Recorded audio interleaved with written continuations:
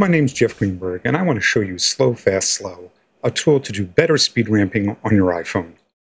Let's face it, everything looks better in slow-mo.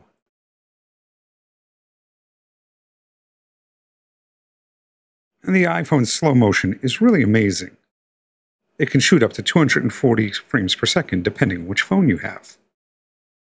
The only negative is down here at the bottom under these adjustments. This is the only spot where you can make adjustments to the actual slow-mo. You can't really do any speed ramping. Enter Slow Fast Slow. Slow Fast Slow is a free product from Studio Neat.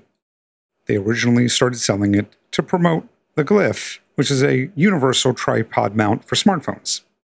I own one, they're amazing. You hit the plus button and you can import your slow mo video, and I've done that here. And now it's playing at normal speed.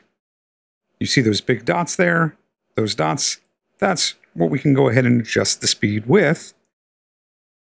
I can go ahead here and take this point and pull it down to slow things down and up to speed things up. I'm going to go find the point where he's jumping and just make that slower. I'm going to add a point by clicking and holding and add a point. I'm going to speed up everything before that. I'll do the same on the other side, right about here. And now we get something that's impossible in the iPhone, a true variable speed ramp. Because as I said, everything looks better in slow motion. Once you've used this, you go to the share button here. I would export an original resolution, and then if you wanted to do anything else, you could do it with any other tool on your iPhone. And that's slow, fast, slow.